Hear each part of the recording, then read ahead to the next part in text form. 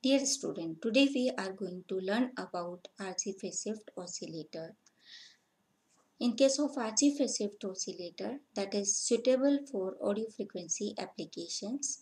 So uh, these are also called audio frequency oscillator and uh, these are basically used to generate the sinusoidal audio frequency signals.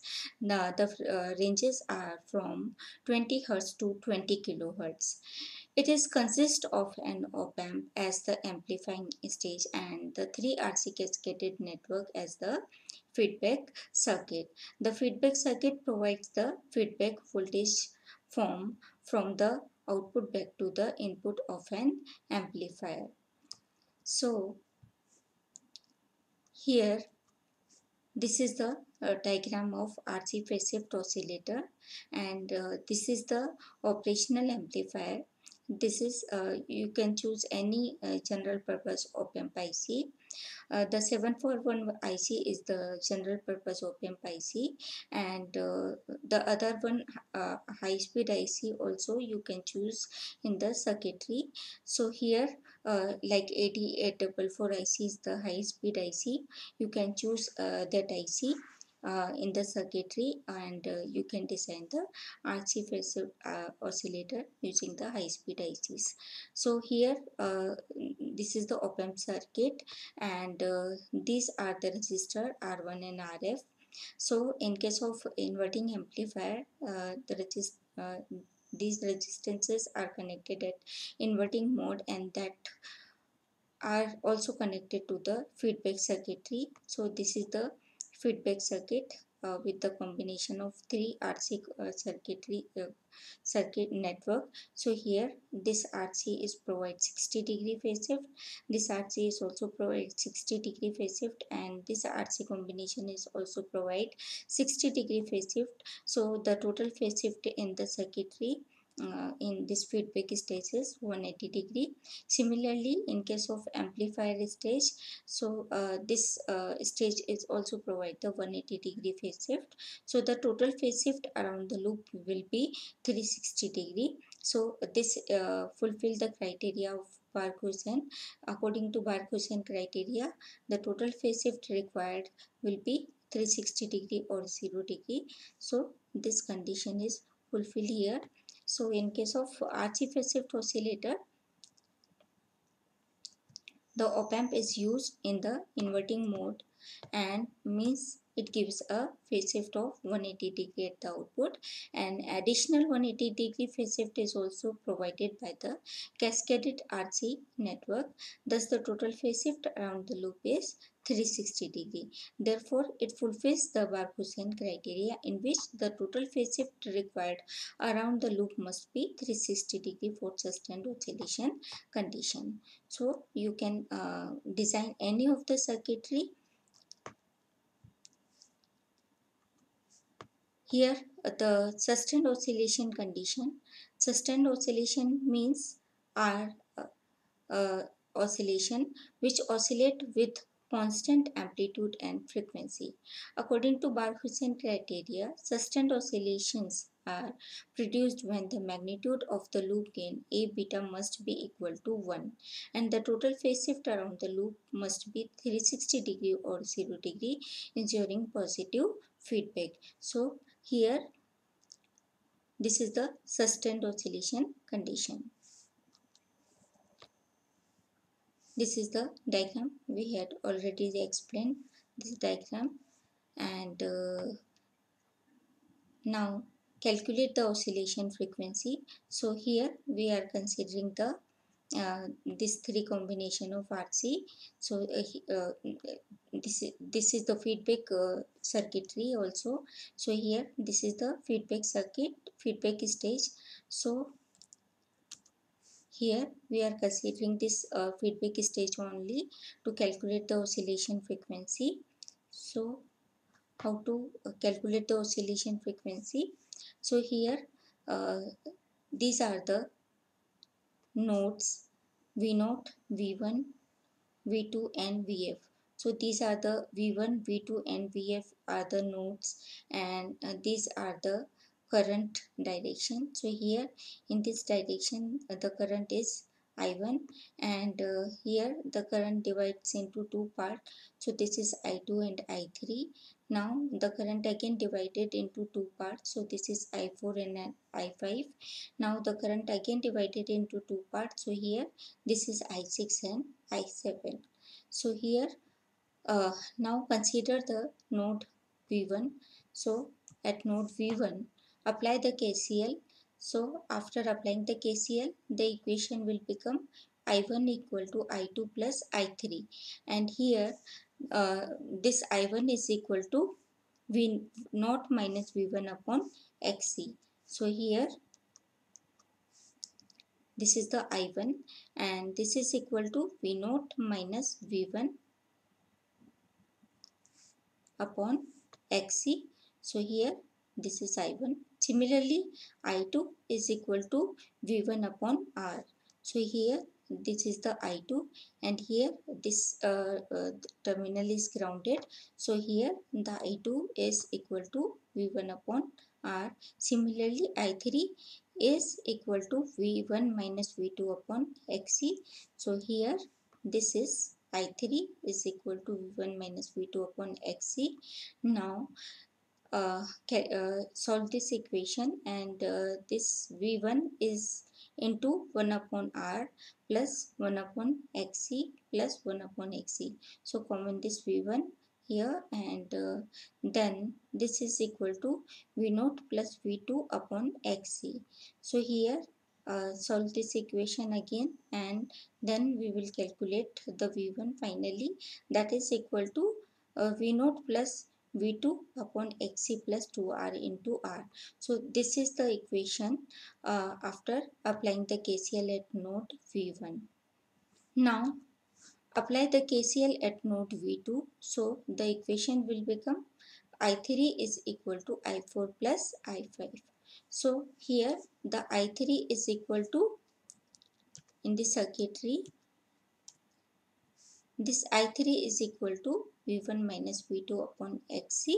So here at node V2 the I3 will be equal to V1 minus V2 upon XC and uh, similarly uh, the I4 is also equal to V2 upon VR in the circuitry this is I4 and uh, because this terminal is grounded so here this I4 is equal to V2 upon R. Similarly, calculate the I5.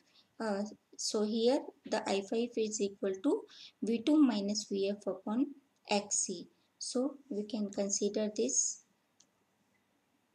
at node V2 this I5 is equal to V2 minus VF upon XC.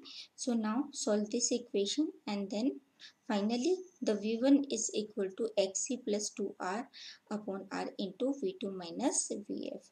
So this is your equation 2. Now applying the KCL at node V3 in this circuitry.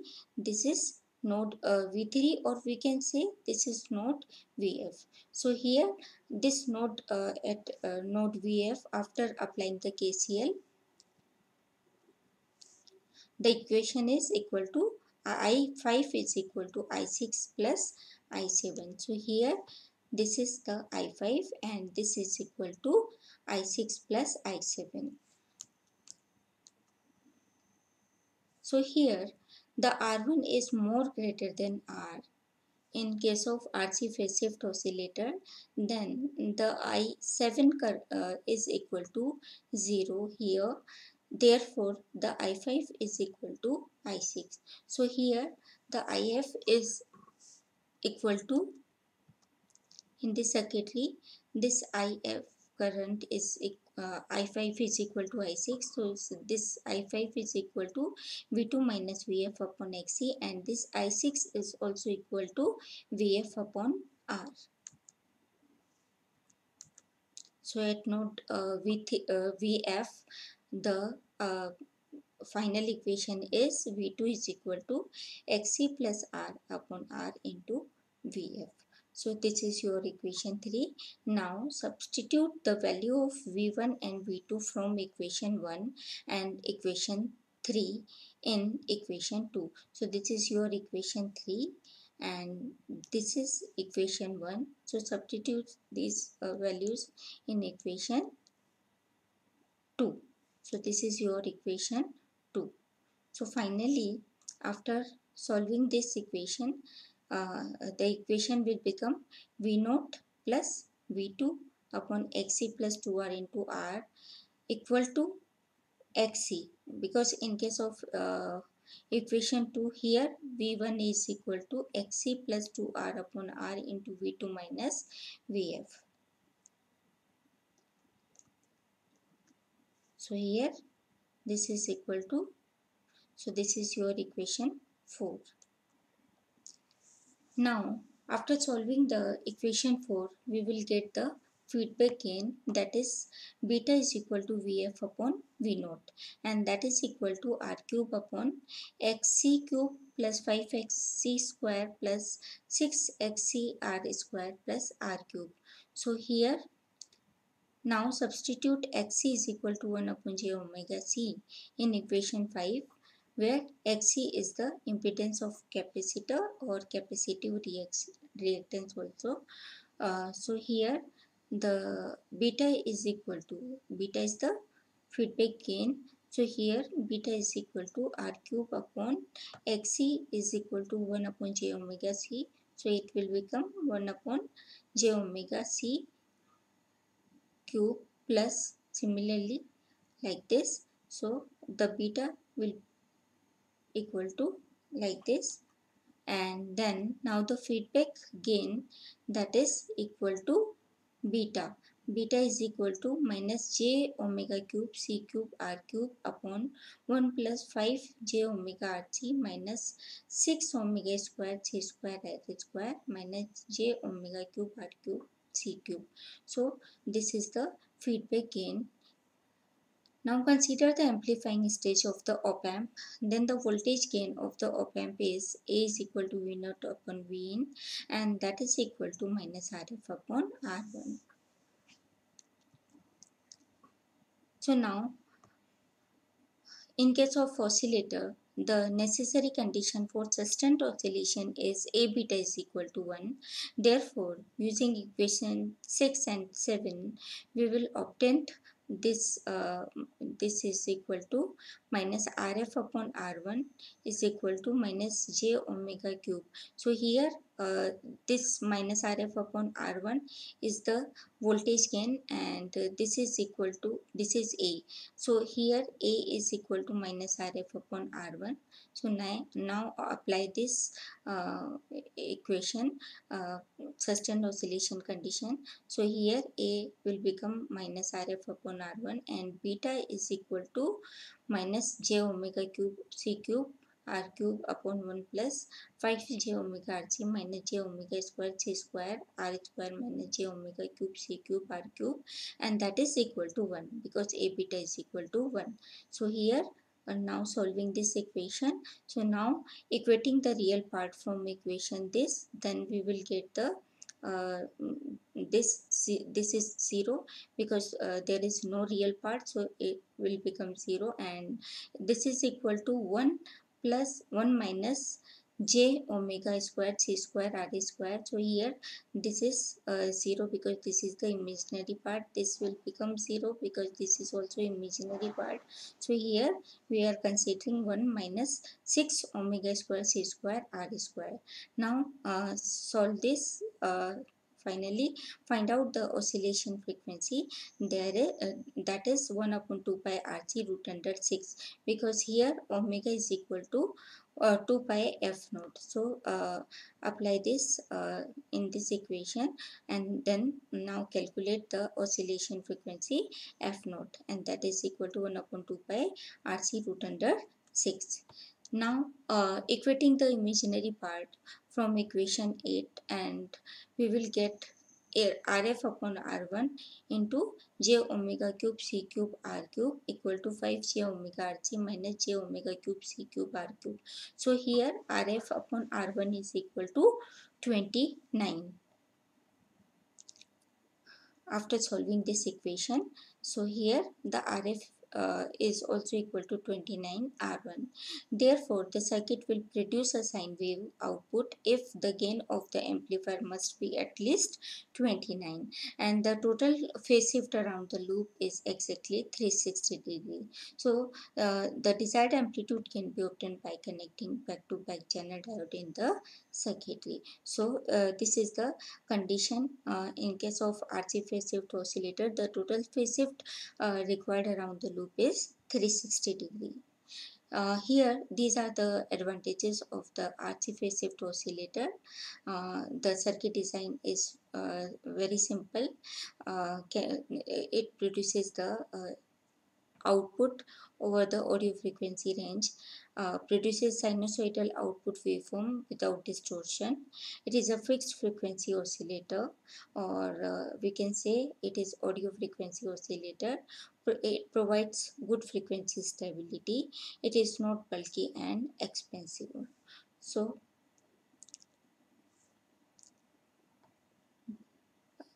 These are the advantages of the disadvantages of the RC phase shift oscillator. By changing the values of uh, resistor and capacitor, the frequency of the oscillator can be changed. But the values of uh, resistor and capacitor of all three sections must be changed simultaneously to satisfy the oscillation conditions but this is practically impossible hence the RC shift oscillator is considered as a fixed frequency oscillator for all practical purposes. These uh, oscillators produce 5% of distortion level in the output. This oscillator gives only a small output due to smaller feedback. The other disadvantage is these oscillators uh, circuits require a high gain which is practically impossible. The frequency stability is poor due to the effect of the temperature aging etc of various circuit components. So these are the disadvantages of the RC phase shift oscillator. Thank you for watching.